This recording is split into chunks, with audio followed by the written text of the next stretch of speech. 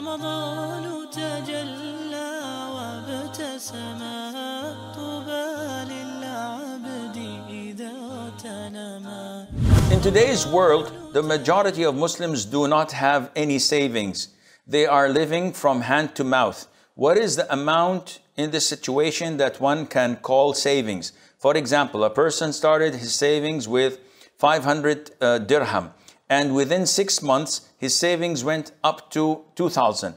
But by the end of the year, he has only 100 left in, this, uh, in his savings. What should the person do in this case? What is the zakat applied to? Well, such a person should look for a better job, definitely, because come on, what is this? What are you doing? A whole year and, and nothing is, is in your savings? You need to improve your income.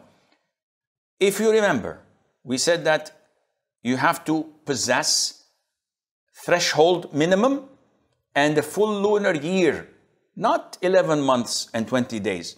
A full lunar year should pass over this threshold. So if I get in the first of Muharram, this is the first lunar year, 100,000 dirhams, and throughout the 11 coming months, I spend rent, school, tuition, food, car repairs, etc. By the month of Dhul Hijjah, I've consumed the whole 100,000. So first of Muharram, the following one, I have zero in my bank account. How much do I have to pay zakat? Zero. If I have 10,000 only left, okay, 10,000 is above the threshold? Yes.